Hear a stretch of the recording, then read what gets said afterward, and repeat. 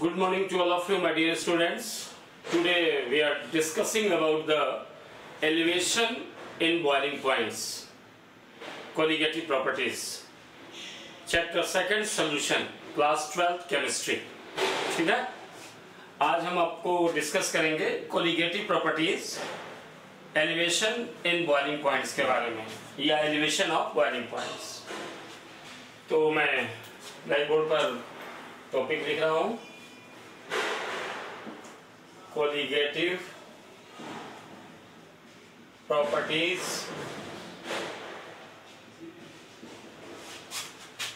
और उसके बाद अंदर लिख रहा हूँ elevation elevation in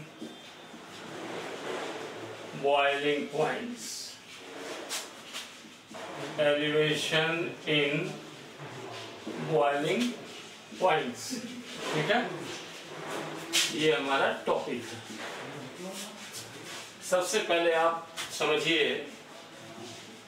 colligative properties क्या होता है? पहले मैं बता चुका हूँ, फिर बता दे रहा हूँ। कोलिगेटिव प्रॉपर्टीज़ ठीक है? Properties of properties of dilute solution is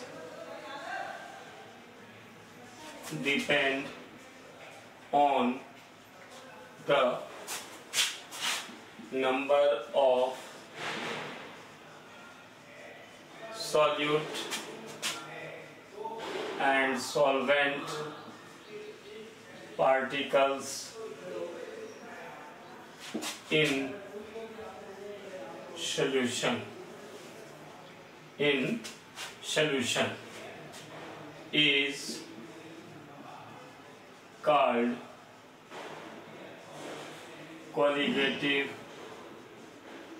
properties ठीक है But it does not do not but it do not depend on identity. Identity and nature of solute and solvent and solvent ठीक है colligative properties is a properties of dilute solution is depend on the number of solute and solvent particles in the solution is called colligative properties but it do not, it do not depend on identity and nature of solute and solvent. Understand? ये है colligative properties का definition अब हम आपको बताएँगे boiling point क्या होता है। बॉइलिंग पॉइंट ठीक है? बॉइलिंग पॉइंट क्या होता है? The temperature at which liquid can start boils is called boiling points. The temperature the temperature at which the temperature at which the liquids the liquids starting start starts boiling starts boiling is called boiling point is called boiling point. माने ऐसा temperature जिसपे कोई भी liquid boiling start कर दे। उसको कहते हैं boiling points understand and and vapour pressure vapour pressure becomes equal becomes equal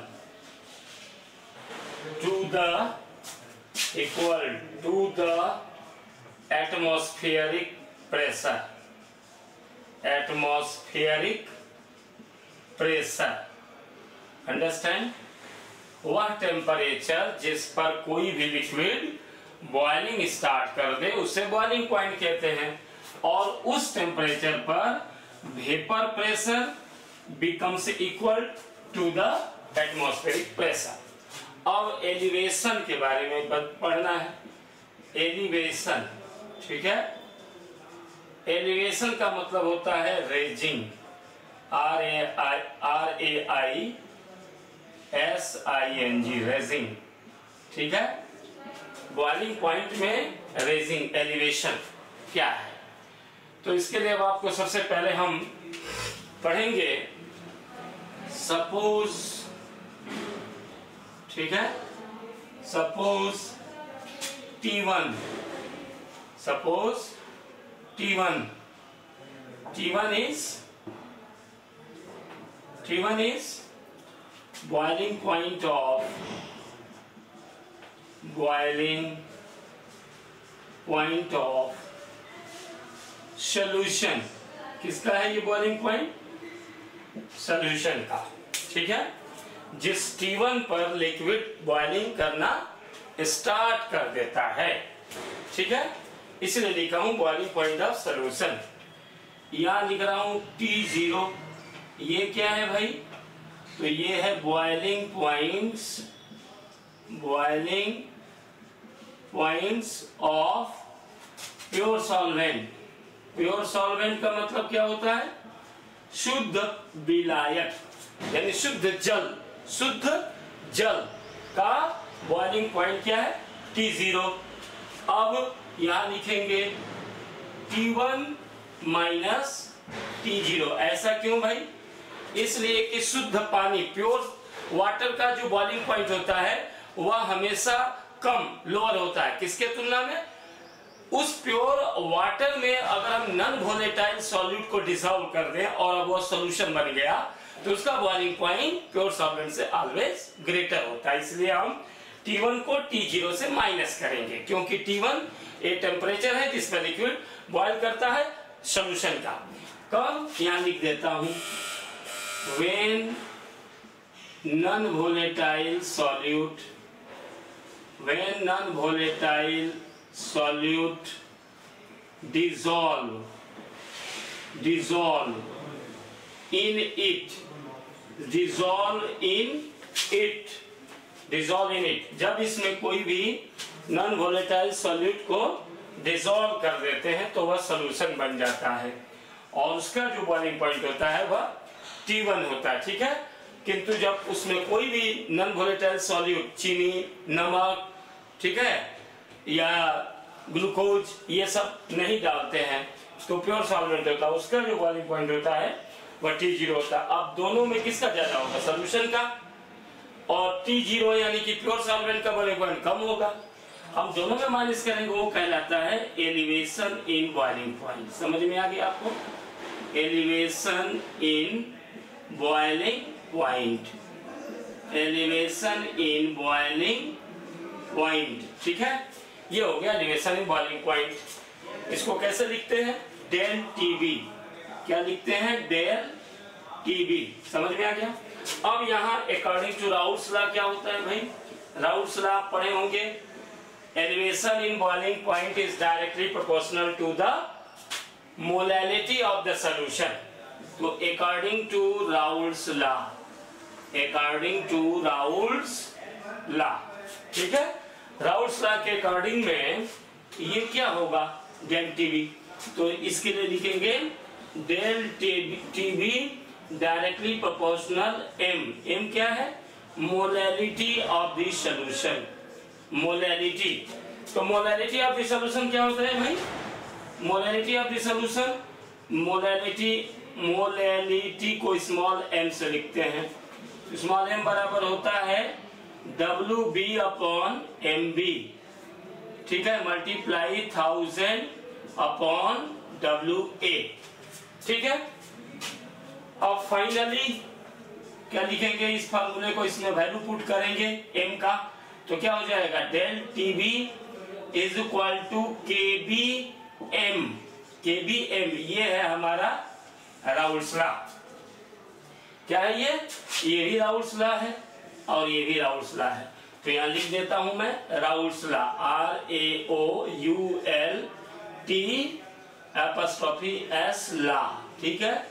Raoult's law अब हमको थोड़ा और जगह चाहिए, इसलिए मैं इसको यहाँ ले रहा हूँ, यहाँ पर ले रहा हूँ, ठीक है? तो यहाँ क्या लेंगे? Calculation of molar mass calculation of molar mass इसी फॉर्मूले के हेल्प से। Calculation of molar mass of non volatile solute non volatile solute ठीक है? नॉन वोलेटाइल सॉल्यूट का मोलर मास निकालेंगे इसी फॉर्मूला के हेल्प से। किससे? एलिवेशन इन बॉइलिंग पॉइंट से। समझ में आ गया? तो हम ये वैल्यू यहाँ रखेंगे ऊपर। डेल टी बी ठीक है? इक्वल टू के बी और m की फॉर्मूला के बी एम, ठीक है? Overall del T B equal to K B multiply W B W B हो गया? अपॉन डब्ल्यू ए हो जाएगा। डब्ल्यू ए क्रॉस मल्टीप्लाई कर देंगे। मल्टीप्लाई हो जाएगा थाउज़ेंड अपॉन थाउज़ेंड अपॉन, क्या हो जाएगा? एम बी, ठीक है? एम बी अब फाइनली एम बी निकालने के लिए एम बी ठीक है? एम बी मतलब नॉन वोलेटाइल सॉल्यूट का मोलर मास तो एम बी निकालने के लिए हम क्या करते हैं? एम बी बराबर क्या हो जाएगा? बोलिए K B K B multiply W B multiply one thousand upon क्या हो जाएगा? ये हो जाएगा, ये क्या बोलते हैं इसको? W A W A multiply del TB ये हमारा फाइनल फॉर्मूला है।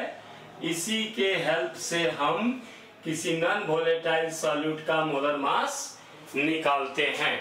किसी भी non molar non volatile solute का मोलर मास इस फॉर्मूले से निकल जाएगा। अब यहाँ पर MB क्या है? तो इसके लिए मैं थोड़ा सा यहाँ पर जगह ले रहा हूँ। यहाँ पर मैं जगह ले रहा हूँ। ठीक है? यहाँ पर मैं आपको समझा दूँगा कि क्या क्या है। ठीक है? यहाँ पे। तो देखिए M B equal to K B ठीक है? मल्टीप्लाई डब्ल्यू बी मल्टीप्लाई एक one thousand upon W A multiply del T B ठीक है? तो इसको हम यहाँ लिखेंगे एम बी इक्वल टू क्या हो जाएगा? मोलर मास मोलर मास, ठीक है? Molar mass of non volatile solute non volatile solute ठीक है? ये हो गया। अब डब्ल्यू बी क्या है? बोलो। वेट ऑफ़ सॉल्यूट वेट भार वेट ऑफ़ सॉल्यूट ग्राम में। Weight of solute in gram, ठीक है?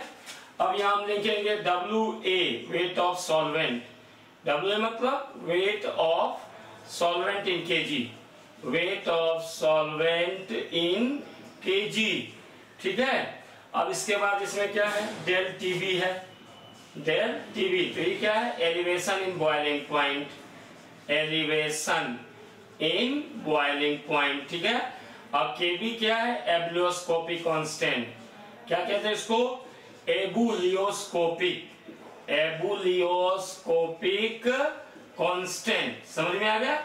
ये हो गया आपका। तो आज हम पढ़े क्वालिगेटिव प्रॉपर्टीज़ जिसको कहते हैं एलिवेशन इन बॉइलिंग पॉइंट्स अब इसमें आपको थोड़ा सा एक चीज़ कोई पूछता है केबी क्या है? केबी तो केबी के लिए थोड़ा सा मैं आपको यहाँ देखता हूँ केबी क्या है? केबी केबी क्या है? मोलर एलिवेशन कांस्टेंट भी इसको कहते हैं molar elevation constant, molar elevation constant, ये क्या है भाई? तो raising in temperature when one mole of non-volatile solute dissolved in 1000 gram of solvent. यानी कि जब किसी थाउज़ेंड ग्राम ऑफ़ सॉल्वेंट में किसी नॉन वोलेटाइल सॉल्यूट के एक मोल को डिसॉल्व करने पर उसके टेम्परेचर में जो रेजिंग होता है डिजोल्व करने के बाद, वही कहलाता है केबी मोलर एलिवेशन कांस्टेंट या इसका दूसरा नाम है एबुलियोस्कोपिक कांस्टेंट क्या नाम है इसका? एबुलियोस्कोपिक कांस्टेंट ये मैं रम कर दिया, ठीक है?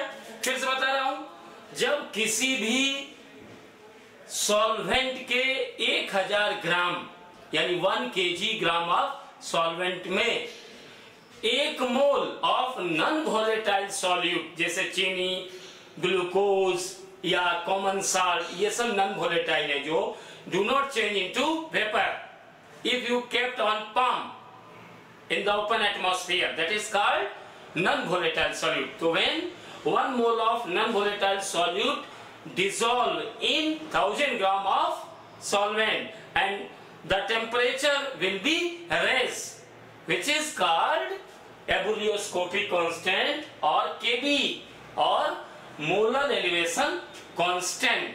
Understand?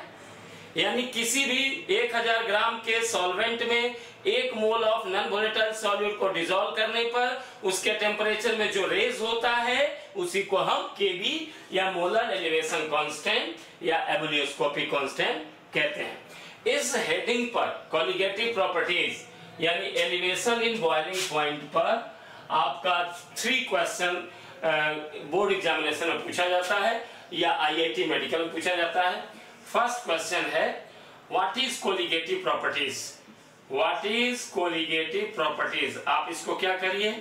डिफाइन करिए, ठीक है? डिफाइन करिए। प्रॉपर्टीज़ ठीक है? ये हो गया कोलिगेटिव सेकेंड क्वेश्चन क्या होता है भाई? सेकेंड क्वेश्चन होता है कि how can you calculate the molar mass of non volatile solute by the help of elevation of boiling points तो ये लिखा जाता है calculation of calculation of M B M B understand calculation of M B derive the formula ये question होता है। Third question से पूछा जाता है what is Raoult's law what is Raoult's law R A O U L T S what is Raoult's law यानी del T V directly proportional small M ये पूछा जाता है। और जो फोर्थ क्वेश्चन इस पर पूछा जाता है, वो ये है। क्या? न्यूमेरिकल सवाल। न्यूमेरिकल्स एक्सरसाइज से या आईआईटी मेडिकल या किसी भी जगह से क्वेश्चन पूछा जा सकता। इस फॉर्मूले पर M B is equal to K B multiply W B multiply thousand ठीक है? Upon delta T B multiply W A इस पर, इस तरह से कितने क्वेश्चन इस टॉपिक से पूछे जाते हैं? There are four question colligative properties को डिफाइन करो। You calculate the molar mass M B of non volatile solute by the help of elevation in boiling points इस पे सवाल, ठीक है? और थर्ड क्वेश्चन आएगा what is Raoult's law explain और फोर्थ क्वेश्चन आएगा calculation numerical question numerical question ठीक है? न्यूमेरिकल क्वेश्चन ये आएगा एक्सरसाइज से. जिसमें एम बी पूछेगा। एम बी क्या है? Molar mass of non volatile solute जिसमें केबी की वैल्यू दिया रहेगा। केबी मतलब molar elevation constant W B क्या है? Weight of solute in gram thousand numerical सवाल के फॉर्मूले में गिवन है। डेल टी बी क्या है? Raise in temperature when one mole of क्या है? जो भी टेम्परेचर रेज होता है, जब नॉन वोलेटाइल सॉल्यूट को सॉल्वेंट में डिजोल्व करते हैं तो।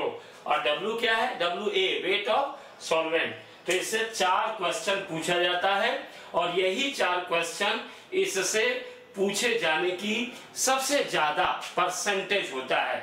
Percentage of asking question in different competitive examination as well as in twelfth class board examination either they are CBSE or be any other board तो इसमें कोई भी आपको डाउट लगे या कुछ भी तो आप कमेंट बॉक्स में ज़रूर लिखना नहीं भूलेंगे।